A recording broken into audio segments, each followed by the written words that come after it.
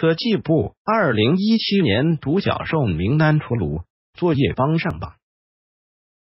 三月二十三日，科技部火炬中心联合中关村管委会、长城企业战略研究所等，在京发布了二零一七中国独角兽企业发展报告。及独角兽企业榜单作业帮凭借其移动互联网用户体验方面的口碑和技术优势，以及从拍照搜题到作业答疑、直播授课等日渐完善的生态链布局，脱颖而出，成功入选二零一七中国独角兽企业榜单。一同入选该榜单的还有蚂蚁金服、滴滴、爱云等企业。作业帮入选二零一七中国独角兽企业榜单。据了解，本次榜单中，在线教育、交通出行等是独角兽企业集中爆发的领域。在这些独角兽中，以作业帮等为代表的在线教育企业，作为行业创新的新引擎和成长代表，正在获得越来越广泛的认可。过去四年来，作业帮从百度内部一个小小的团队孵化。经历了分拆独立和三轮融资，从几十人的团队发展到现在上千人规模，不断深耕技术和教育内容，始终秉承着教育初心，脚踏实地的前行。现在我们初步成长为在线教育的独角兽企业。一方面，这充分显示了市场和资本对我们的认可，但更重要的是，这也给了我们巨大的。鼓励让我们更有动力去做好教育这份事业，真真切切的通过科技来推动普惠教育，让每个孩子都能享有公平而有质量的教育。作业帮技术副总裁李博洋如是说：“根据易观智库最新发布的数据显示，二零一六全年中国互联网教育市场交易规模达一千六百零一亿元人民币，同比增长四十三百分之三。预计二零一九年中国互联网教育市场交易规模将达到三千七百一十八亿元人民币。可见，K 幺二在线教育。”拥有巨大的市场规模和潜力，近年来备受资本青睐。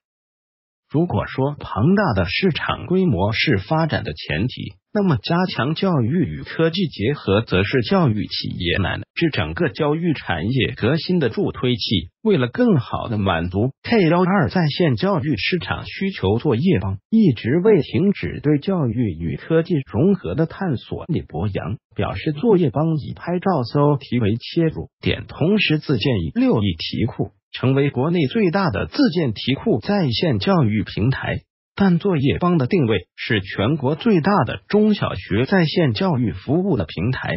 李博洋说，除了拍照搜题的工具属性外，近年来作业帮加速上线了一对一答疑辅导，更大力组建了师资教研力量。做教学教研内容和后端服务，发力直播授课，也就我们的作业帮一课产品目的，就是把优质的内容传递到全国所有的中小学生手上，推动了我国基础教育的资源优化配置，促进了教育公平。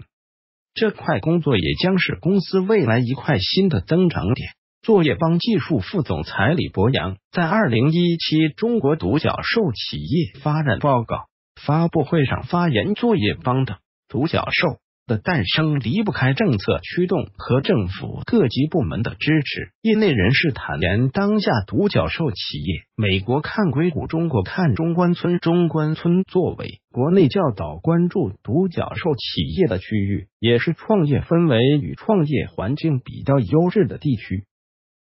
为中国企业快速成长提供了肥沃的土壤。不论是当下热议的人工智能、大数据，还是 AR、VR 等高尖端技术，本质上都是为了更好的服务教育行业。发布会上，李保阳还表示，通过技术的革新，实现产品的优化作业，帮实现了后端教师的精准匹配，大量的课堂交互实时的交互，真正解决家长、学生的痛点践行。努力让每个孩子都能享有公平而有质量的教育使命，